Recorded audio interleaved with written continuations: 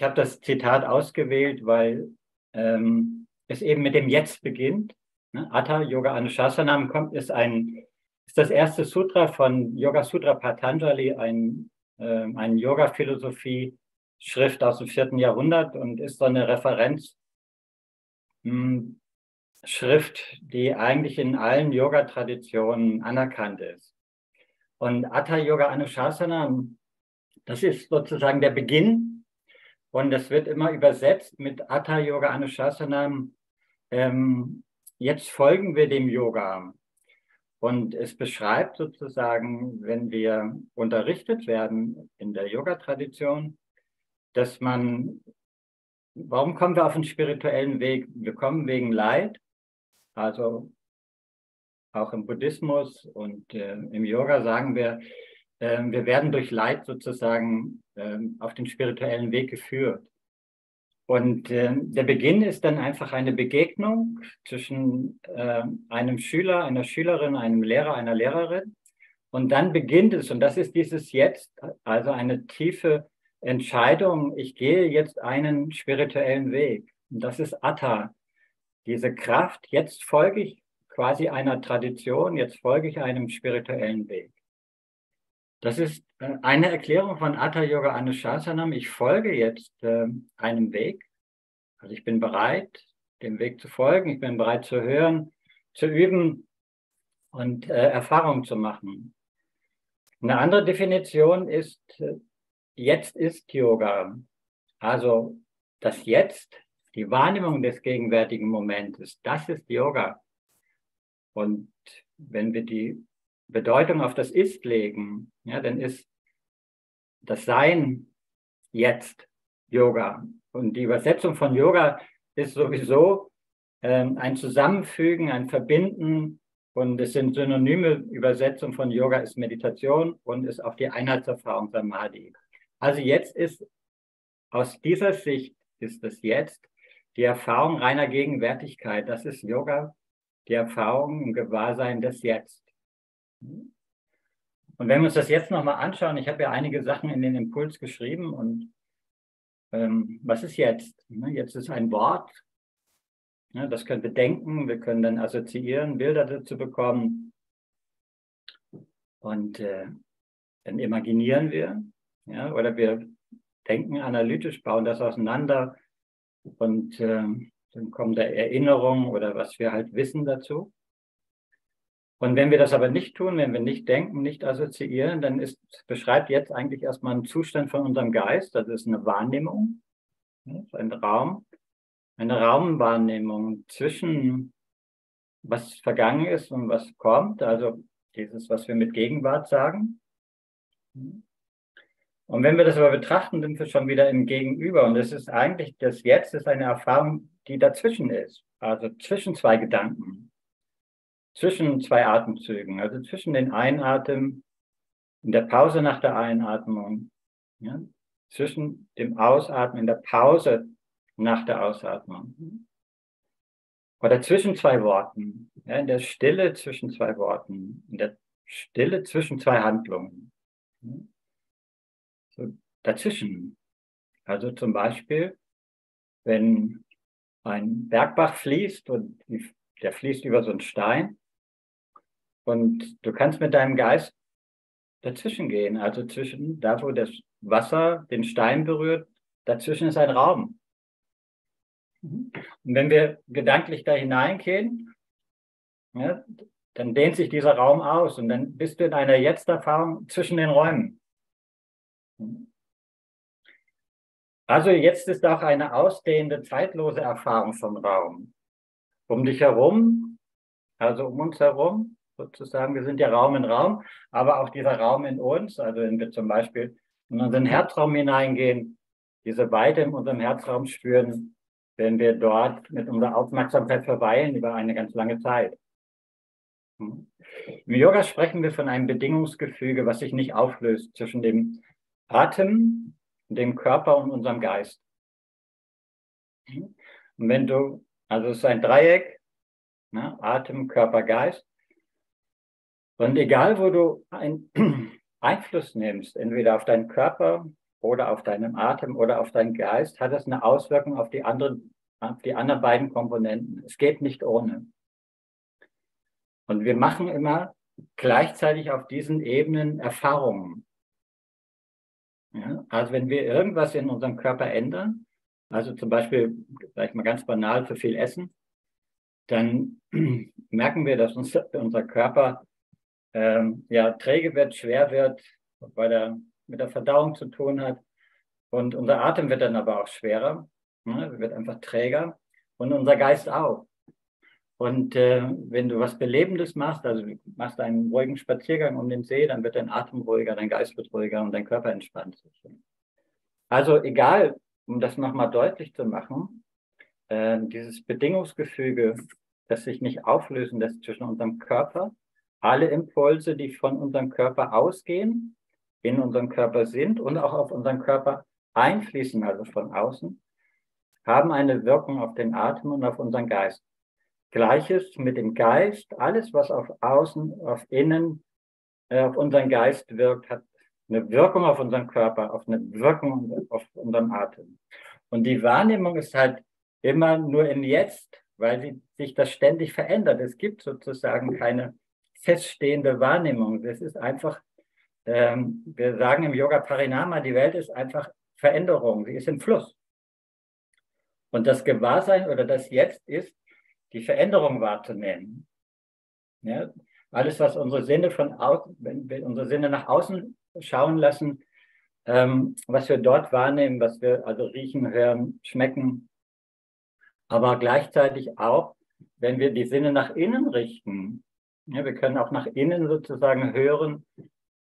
Das ist eine offene Schau nach innen, das ist ein Weitgestelltsein, auch für unsere Sinne. Wir können dann hören, sehen, spüren, das sind so die Verbindungen, wo wir dann hell hören, hell sehen, hell fühlen. Das sind die Sinne nach innen gerichtet, wenn wir mit dem Gewahrsein im Innen bleiben. Jetzt. Ja, und zwar über eine Zeit. Und auch dort ist jetzt immer wieder ein Veränderungsprozess, weil Gedanken kommen, Gefühle kommen und so weiter. Was können wir noch wahrnehmen? Nochmal einen Impuls und was im Jetzt geschieht. Ja? Also Körperempfindungen, wenn wir uns auf unseren Körper schauen, so wie unser Körper jetzt ist, in dem Alter, wie wir sind, in den Bewegungsmustern, die wir gelernt haben, die, die wir haben. Wir können Empfindungen im Körper haben von Enge, Weite, von dumpf, leicht, so fließend, locker oder auch schmerzhaft, ne, angespannt. Und auch das ist in der Regel wiederkehren und verändern. Das ist niemals gleich. Es ist niemals gleich. Auch bei den Empfindungen, das Wechselspiel von Gefühlen. Ja, also Gefühle können Gedanken auslösen, Gedanken können Gefühle auslösen. Und wir können das spüren. Wir haben Handlungsimpulse, wir haben Bewegungsimpulse. Und die alle eine Wirkung haben auf unseren Körper, auf unseren Geist, auf unseren Atem. Ja. Und äh, ja, wir haben Bedürfnisse, Grundbedürfnisse von genährt werden, gewärmt werden, Körperkontakt haben, gesehen werden, gehört werden, sind unsere symbiotischen Bedürfnisse. Wir wollen verstanden werden, unterstützt werden. Das sind so die primären symbiotischen Bedürfnisse und die wir auch äh, brauchen in den ersten Lebensjahren, um überhaupt äh, ja, eine Individualität, ein Ich aufzubauen. Und äh, gleichzeitig haben wir dann auch Autonomiebedürfnisse. Also wir wollen frei sein, was selbst machen, unabhängig sein und selbst in uns Halt finden, eigenständig sein, uns selbst wahrnehmen können, selbst fühlen, selbst denken. Also nicht das, was zum Beispiel, äh, wenn wir eine zu symbiotische Beziehung vielleicht zu unserer Mutter gehabt haben, dann fühlen wir eigentlich eher die Gefühle von unserer Mutter und nicht unsere eigenen Gefühle. Das ist also gar nicht so selten. Also dieses autonome Bedürfnis, was wir haben, diese symbiotischen Bedürfnisse haben. Und die sind auch immer präsent. Ja, wenn ihr das alles, was ich gerade gesagt habe, wenn ihr das auf eure Paarbeziehung übertragt oder im Beruf ja, oder auch in irgendeiner Gruppe, was ist, ja, du möchtest davon genährt werden, du möchtest gewärmt werden, du möchtest Kontakt haben, du möchtest gesehen werden, verstanden werden, unterstützt werden, dazu zu gehören, willkommen zu sein. Ja, und gleichzeitig möchtest du auch deine Freiheit haben und äh, selbstständig sein, unabhängig sein. Also das sind Grundempfindungen, die wir haben, die immer jetzt präsent sind in uns. Gleiches mit dem Geist, ja, unseren Geist. Ja, woran können wir unseren Geist erkennen? Aus dem Yoga sagen wir, wir können unseren Geist eigentlich nur an seinen Bewegungen erkennen. Also der Geist ähm, das ist so im Vergleich zum Beispiel wie das Gehen. Ne? Wenn wir gehen, dann gehen wir, das ist das Wort das Gehen. Wenn wir aber stehen bleiben, dann ist das Gehen weg, das ist dann nicht mehr da. Und so verstehen wir im Yoga auch unseren Geist. Wir erkennen ihn eigentlich nur an den Bewegungen. Und zwar im gegenwärtigen Moment, also wie, welche Qualität unser Geist hat. Ne? Ich, da haben wir so fünf Kategorien das ist ein sprunghafter Geist und der ist ausgerichtet, ist dumpf oder klar oder er springt hin und her, also mal so, mal so, aber nicht so sprunghaft. Also er hat bestimmte Qualitäten und wir erkennen sie eigentlich nur an der Aktivität der, der Aktivität. Ja. Und auch das ist Wandel. Und äh, wir nehmen unseren Geist auch noch wahr, dass wir die Identifikation, und das ist, was ihr alle kennt mit unserer Ich-Identifikation, dass wir denken, dass wir unsere Gedanken sind, dass wir damit äh, in Berührung sind, verhaftet sind und dass äh, sich dieser Geist und diese Identifikation auch wandelt, aber sie ist auch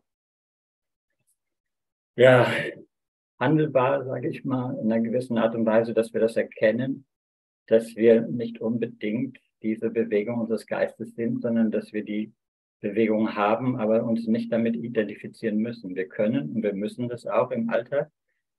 Ohne eine Ich-Identifikation wären wir im Alltag nicht handelsfähig. Aber es äh, äh, ist auch möglich, zum Beispiel in meditativen Prozessen, sich von der Identifikation zu lösen. Ja, und das ist ein Leben als Befreiung, als, ja, als eine Befreiung. Was hilft, um nochmal abschließend äh, auf Atta zu kommen, auf jetzt, die Wahrnehmung von unserem Atem. Ich bleibe mal bei diesem Beziehungsaspekt Körper, Atem und Geist. Hm. Wir ordnen auch unserem Geist eine gewisse Qualität zu im Yoga, dass wir sagen, wie ist eigentlich ein guter Atem? Ja, wir erkennen ihn an den Fluss.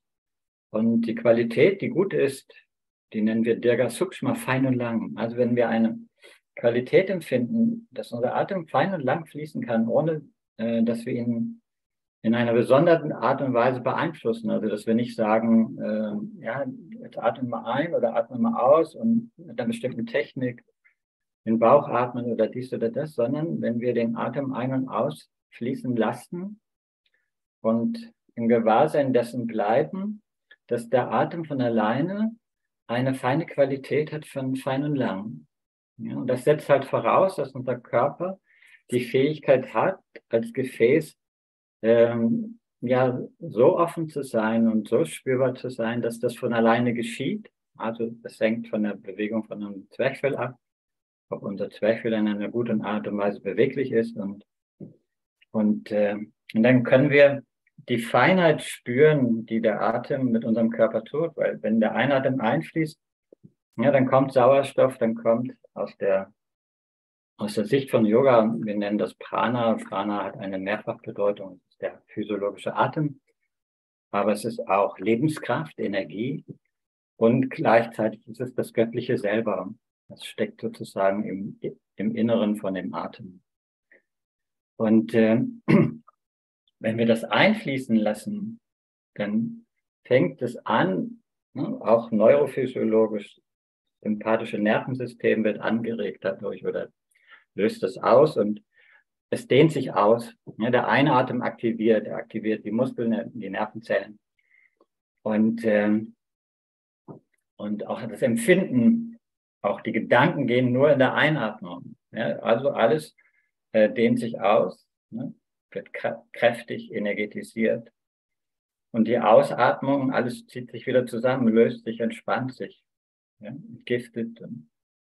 Und wenn wir das geschehen lassen können und das in unserem Körper geschieht, ja, und das eine feine Qualität hat und ähm, dann und wir uns der Ausatmung anvertrauen können. Denn in der Ausatmung können wir nicht denken und vor allen Dingen nicht in der Pause nach der Ausatmung, wenn die natürlicherweise entsteht. Dort ist ein großes Fenster äh, für die Erfahrung von jetzt, weil dann ist, dort ist Stille und dort ist ein grenzenlos ein tiefer, weiter Raum, in dem einfach nichts ist. Und wenn wir dort drin verweilen können über viele, viele Atemzüge, dann können wir wahrnehmen, wie sich das jetzt sozusagen von jetzt, vom Moment zu Moment äh, verändert und trotzdem aus der Stille herausquält. Und das ist Gewahrsein, das ist jetzt.